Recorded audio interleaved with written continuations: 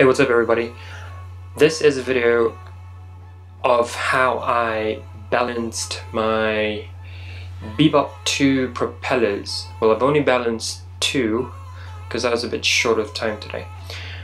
Why do you want to balance your propellers for the Bebop 2? Well, to reduce video jello, which is produced by a lot of vibration from the propellers, the motor, transferred to the frame and then to the camera. This, um, on bright days where the shutter is fast, it produces a lot of jello. Uh, here is a slow motion video where I dropped it down to 50% to show you a bit of the vibration. Well, the Bebop's frame is flexible, so it is meant to flex a bit, but to be dancing around um, like a dog that's uh, that's a little overexcited, I think that's a bit too much. So I ordered the propeller balancer from which is made in Germany. I ordered it on eBay. The link is in the description. I used that to balance uh, four propellers as best as I could, but unfortunately two of them remained persistent um, in causing the legs to shake way too much than it should. So without further ado, I am going to show you the tools. You will need nail polish, a brush for dusting, sandpaper or a fingernail file, and your balancer. Here I check the, uh, the balancer cage. It uses a normal motor cage with the magnet still intact, but a customized shaft. Now this shaft is longer than your uh, normal bebop shaft, so you will not be able to take out your motor cage and balance it on this. What I did prior to applying nail polish was I made the surface rough by sanding it. That would help in the bonding of the nail polish uh, paint to the plastic propeller. Once done, I attempted to balance it by holding it in a position and watching it stay. If it fell, it would fall on the heaviest side and the second heaviest in the middle and the least heaviest on the top. So in this order I applied nail polish and continued to sand, balance, sand, balance. Now balancing the Bebop uh, propeller isn't as easy as it looks.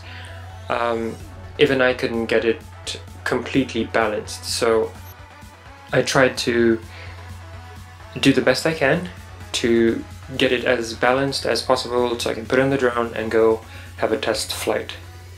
The reason why I sanded the propellers was for the nail polish to stick.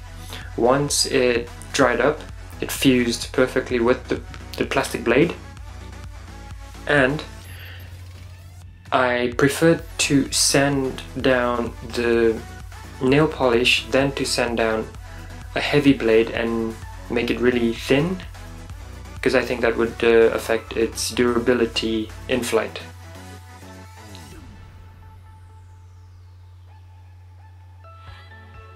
On my test flight, I only managed to eliminate the extreme wiggle on only two of the legs. The front left, as you can see here, and the rear right were just crazy. They were going crazy. So I did a different combination of uh, propellers. Um, all the four propellers that I that I attempted to balance, I just moved them around until I I confirmed that the two propellers that were consistent in uh, being very good and not causing uh, the, the leg shake. Those were my, I would say, best balanced propellers and I have another two propellers which I need to do a bit more work on to eliminate this wiggle in the feet. Now I believe that you can, I believe that it's the propellers, reason being when I swap the propellers around to a different uh, corresponding position, like counterclockwise and uh, clockwise, I move them across to the other blade and the other blade back. I managed to uh, replicate the steadiness.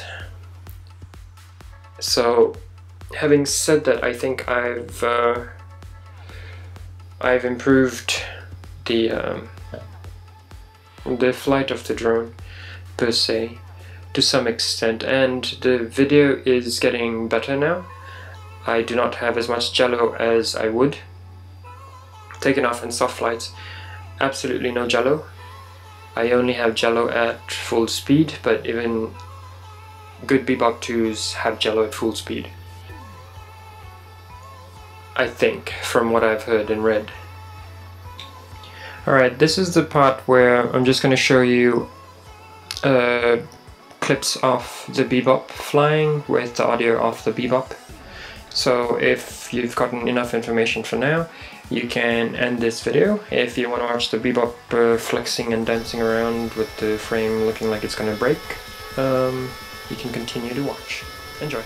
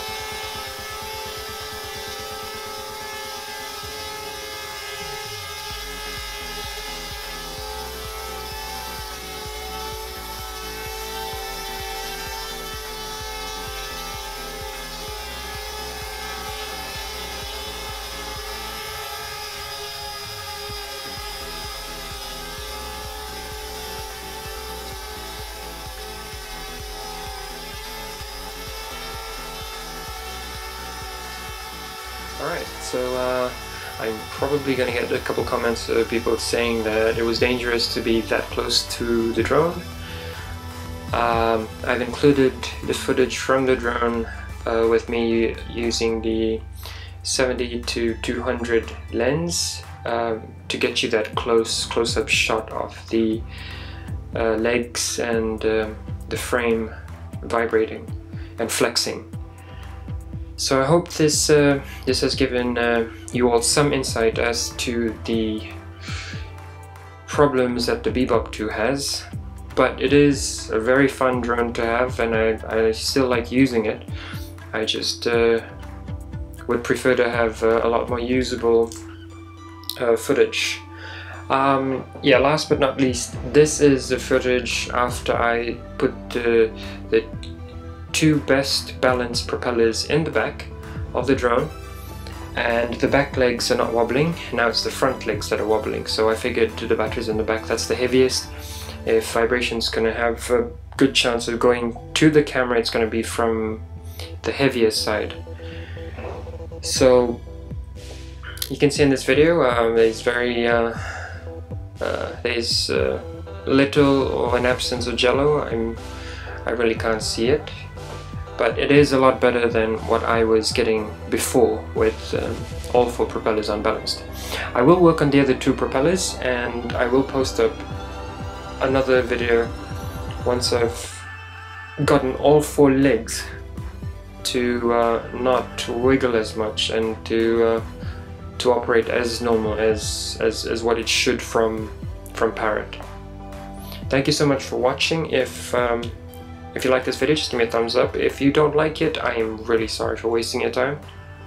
Um, and uh, subscribe or unsubscribe if you don't like. Be safe and safe flying.